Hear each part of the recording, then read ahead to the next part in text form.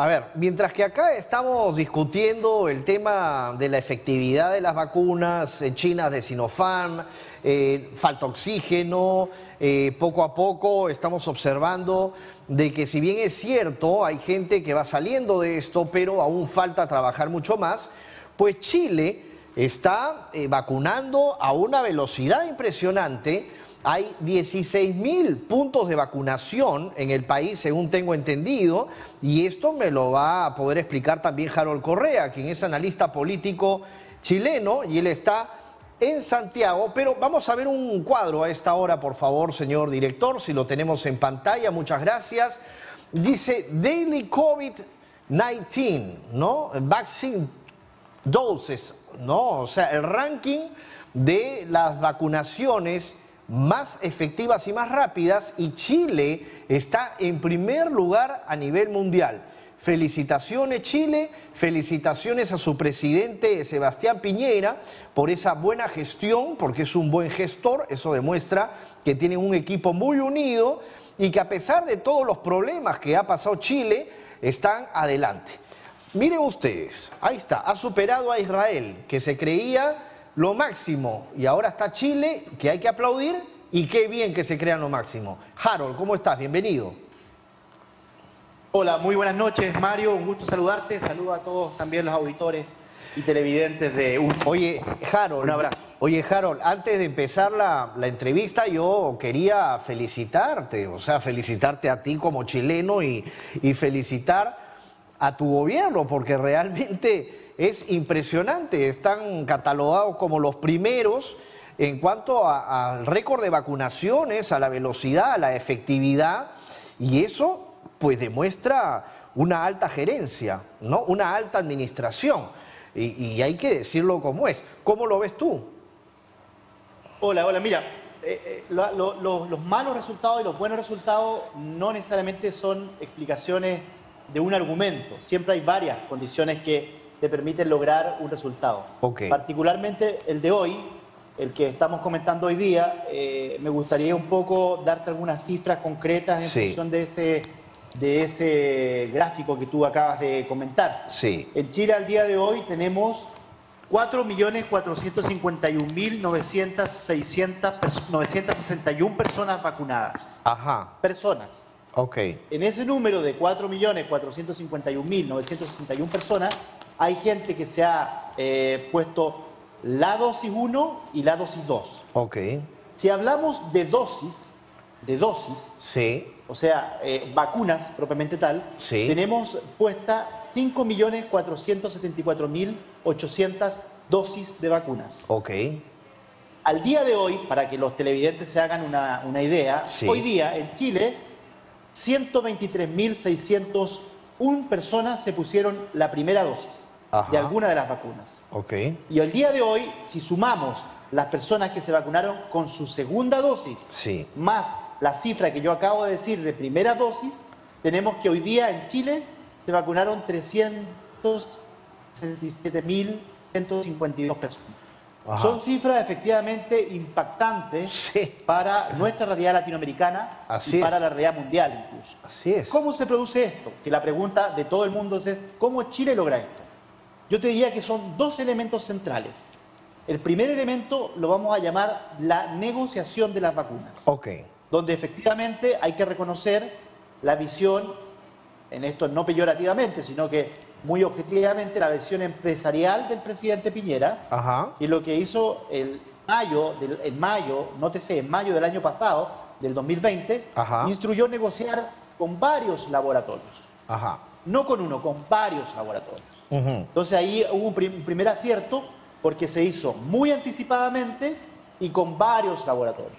Claro. El segundo elemento muy interesante de esto es un elemento que tiene que ver con nuestra ciencia y tecnología, con nuestra academia, con nuestras universidades.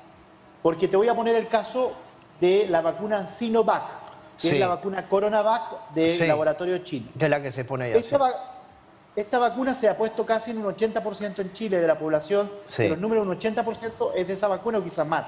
El resto es Pfizer Biotech.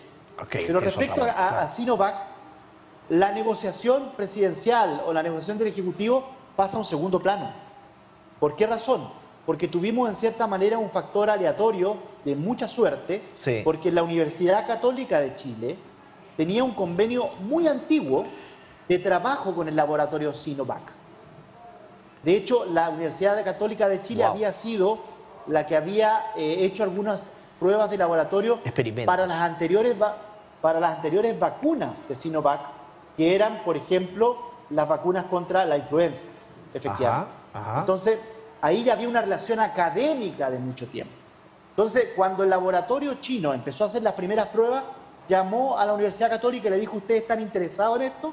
Mayo, abril del año pasado. Y la Universidad Católica dijo, sí, pero esto requiere también el apoyo estatal. Entonces entró a conversar con el gobierno y se creó una primera unidad de fase 3 de la vacuna en Chile, que era la de Sinovac. Negociando, por esa actitud de, la Universidad Católica y de Chile, negociando prioridad en la primera distribución de la vacuna que son los resultados que estamos viendo hoy día. Okay. Y después de eso vinieron otras universidades también, Johnson, AstraZeneca, eh, Pfizer Biotech, todas han estado haciendo ensayos de fase 3 en Chile. Wow. Entonces, el primer elemento de negociación. Claro. El segundo elemento, eh, para terminar eh, la argumentación, el segundo elemento central es que es lo realmente importante, Mario, lo realmente importante que pasó acá, es que Chile cuenta con un sistema de salud primaria muy afianzado, muy afianzado, y esencialmente es obra de muchos eh, eh, procesos históricos en salud pública chilena que se pueden obtener como prioridad en el origen de este sistema de salud pública en el, en el gobierno del presidente Allende. Ese sistema ha hecho campañas de vacunación enormemente exitosas y muchísimas durante a lo menos 40 o 50 años. Por lo tanto, hay un adiestramiento de nuestro sistema de vacunación que viene con mucha historia, con mucha capacidad, con mucha eficiencia. Público, 100% público. Entonces, aquí se unieron las dos cosas, una buena negociación, una buena actividad de la universidad y una gran red de salud primaria que está logrando lo que tú acabas de comentar. Ahora, es importante, Harold, eh, resaltar el segundo punto, ¿no? Al cual tú te referías en cuanto a la ciencia académica, porque, a ver, si la U de Chile, por ejemplo, ¿no? La Universidad Católica de Chile desarrolla, ¿no? Eh, a tecnólogos, a la ciencia, a la tecnología, obviamente con este nexo. Con esta unión que han tenido también con las vacunas, con las pruebas, ha sido mucho más rápido, ¿no? O sea, eso es entendible. Y obviamente también ha tenido que ver la gestión, ¿no? La gestión del Estado y con lo que, y olvídate pues, con el tema de la salud primaria afianzada, es toda una cadena que ha hecho que logren el éxito y ponerse en primer lugar a nivel mundial. Ahora, ¿qué es lo que sigue, eh, Harold? Porque, a ver, si van más o menos cuatro millones y algo más de vacunados, que es bastante, no hoy por hoy, porque en todos los países de Latinoamérica y en el mundo hay miles solamente vacunados. ¿Cuál es el reto? O sea, ¿cuál es el objetivo final? ¿Para cuándo ya se prevé que Chile puede estar vacunada y estar abierta al mundo? Nosotros tenemos una, como país, tenemos una meta de a junio o julio, a más tardar, tener vacunado el 80% de la población. Es decir, alrededor de 14 millones de personas o 13 millones de personas. Ajá. Eh, lo que es un desafío enorme, y aquí yo planteo una incertidumbre que la tenemos en Chile a nivel local y que, por cierto, la vamos a tener en América Latina. Sí. Porque lo que yo le acabo de relatar tuvo su pic en febrero, cuando empiezan a llegar partidas de 2, y 4 millones de vacunas Sinovac. Nadie sabe, porque son convenios un poco reservados, sí. hasta, hasta cuándo es la prioridad de la distribución Sinovac para Chile. Si sigue habiendo prioridad en la distribución de Sinovac para Chile, es probable que logremos esa meta incluso antes. Si se ralentiza, eh, puede que demoremos más. Dime una cosa, ¿los privados pueden hacer contratos, por ejemplo, si quieren con la vacuna rusa Sputnik o con cualquier otra empresa? Eh, en teoría, en teoría pueden. Pero lo que ha habido en Chile a partir de, la, de las disposiciones de manejo del COVID es que ha habido una integración del sistema público y privado. El privado ha puesto a disposición su infraestructura al sistema público para que haya una gestión centralizada de recursos, ya sea camas UCI, ventiladores, oxígeno y ahora vacunas. Por lo tanto, no es que, no es que el sector privado no, sino que está en que parte de un esfuerzo nacional y, como país. Ajá. Pero en teoría, efectivamente, no hay ninguna limitación, ni legal ni administrativa, en Chile para que un sector privado pueda eventualmente adquirir. Correcto. Pero eso no ha ocurrido por la eficiencia del sistema. Ahora, Chile, por ejemplo, ha colaborado con el Perú en mandar 40 eh, eh, toneladas, más o 40 toneladas ¿no? de oxígeno medicinal acá al país semanalmente. Eso entonces me, me lleva a pensar de que en Chile no están padeciendo el problema del oxígeno, no hay filas, por ejemplo, en donde la gente se aglomere para acceder a oxígeno para sus familiares. O sea, eso no existe. Mira, yo, yo conozco bastante la realidad peruana respecto a este tema porque tengo amigos, eh, gente que, hablo cotidianamente y, me he dado cuenta que ustedes tienen un problema muy central desde el punto de vista de la falta de oxígeno. Ajá, En Chile, yo no soy médico, por lo tanto no puedo decirte la razón. Sí. Pero sí lo que te puedo decir que en Chile lo que ha estado eventualmente escaso no es el oxígeno, son las camas y los respiradores artificiales. Ajá. Eso sí ha estado muy escaso. Por lo tanto, creo que, que, lo que hay acá es manejo más eh, prolijo de las camas SUSTI con ventiladores artificiales, lo que hace que ese paciente no llegue a la necesidad del oxígeno. Por lo tanto, hay menos demanda de oxígeno. Harold, así como por ejemplo a Paraguay y Ecuador se han enviado unas 20.000 dosis de vacunas, ¿podrían enviarse también acá al Perú en algún momento? Yo creo que sí, pero en esto hay que ser bastante frío eh, y, poco, y poco delicado para, analizar esto.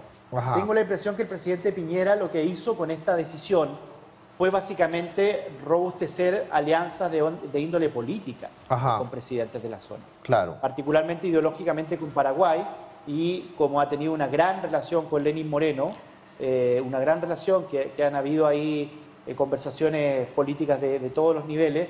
Por lo tanto, creo que lo que hizo él básicamente fue una adhesión a un sistema de alianza un poco más ideológico con esto. Claro. Eh, y aquí hay que, hay que reconocer también que los peruanos en la historia eh, política de nuestros países también lo saben muy bien. La alianza privilegiada de, geopolíticamente de Chile ha sido siempre con Ecuador. Entonces creo que ahí han habido esos elementos. Ahora, quiero decir que en Chile hubo, hubo algunas voces que dijeron, bueno, todavía no estamos todos vacunados, ¿cómo está regalando vacunas?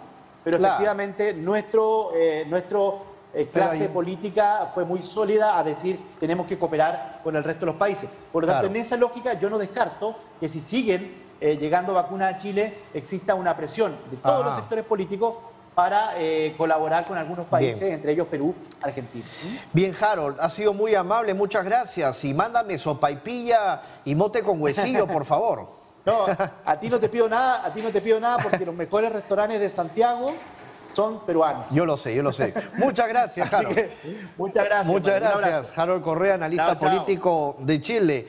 Y bueno, nos despedimos, ya viene Diálogo y Soluciones. El invitado de hoy es el candidato a la presidencia, Rafael Santos. Permiso, nos vemos, buenas noches.